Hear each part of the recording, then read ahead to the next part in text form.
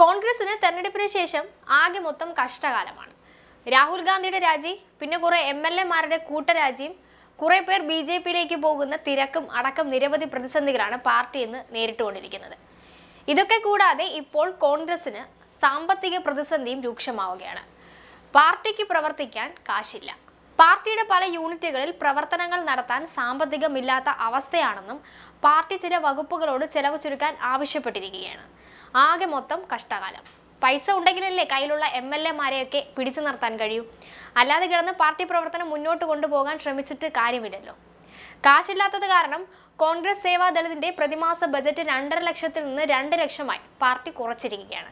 ഇതുകൂടാതെ മഹിളാ കോൺഗ്രസിനോടും N S I U youth Congress തുടങ്ങിയവരോടും party ചെലവ് ചുരുക്കാൻ ആവശ്യപ്പെട്ടിട്ടുണ്ട്. ഡാറ്റ ഇന്റലിജൻസ് വിഭാഗം ഇനി പാർട്ടിക്ക് ആവശ്യമുണ്ടോ എന്ന ചർച്ചയും പാർട്ടിക്കുള്ളിൽ നടക്കുന്നുണ്ടെന്ന് കോൺഗ്രസ് വക്താക്കൾ പറഞ്ഞതായി ഇന്ത്യ ടുഡേ റിപ്പോർട്ട് ചെയ്യുന്നു.